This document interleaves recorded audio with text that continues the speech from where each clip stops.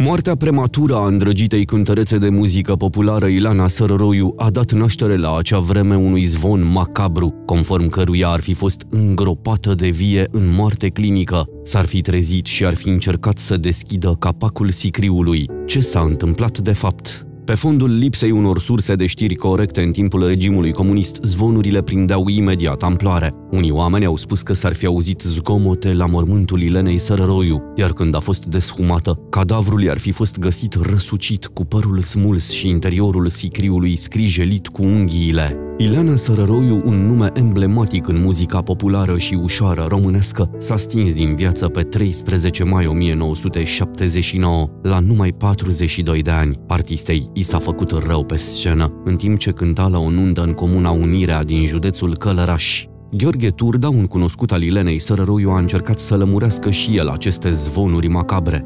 Acesta spune că familia artistei a fost nevoită să-i mute mormântul, deoarece se afla în apropierea unei toalete și de aici ar fi plecat zvonurile. Nu este adevărat că Ilana Sărăruiu a fost îngropată de vie, că s-a trezit în coșciug. Doamne ferește, sunt doar minciuni băbești. Se spune că a murit de anevrism, dar eu cred că suferise un infarct. I-au mutat groapa în alt loc pentru că fusese înmormântată undeva foarte aproape de o toaletă, la vreo 2-3 metri distanță. Apoi au adus-o spre alea principală, la intrarea în cimitirul Sfânta Vineri din București de pe calea Griviței. A fost și va rămâne un nume. Restul sunt legende înfricoșătoare de prin cimitire. A declarat Gheorghe Turda pentru Impact.ro.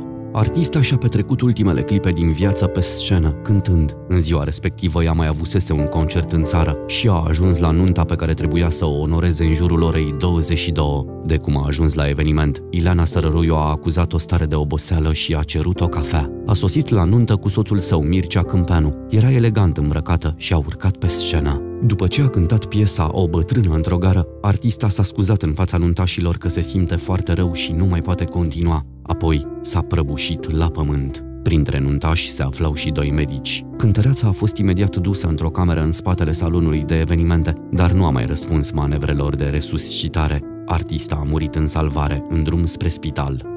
Medicii au stabilit că moartea a survenit în urma unui anevrism, având în vedere faptul că artista era foarte cunoscută, dar și împrejurările morții ei. Autoritățile de la acea vreme au deschis o anchetă și au audiat mai multe persoane aflate la eveniment. Artista nu a fost înmormântată imediat, ci trupul ei neînsuflețit a stat la morga din Călăraș timp de o săptămână pentru autopsie și investigații. Apoi a fost înmormântată la cimitirul Sfânta Vineri din București. Femeia care i-a pregătit cafeaua a fost prima luată la întrebări la procuratură. S-au gândit că poate i s-a pus ceva în băutură, că moartea nu a fost un accident. Evident că nu s-a descoperit nimic. O săptămână întreagă, trupul artistei a fost ținut la morga din Călăraș. Când au fost stabilite cauzele morții, nimeni nu a mai avut dubii.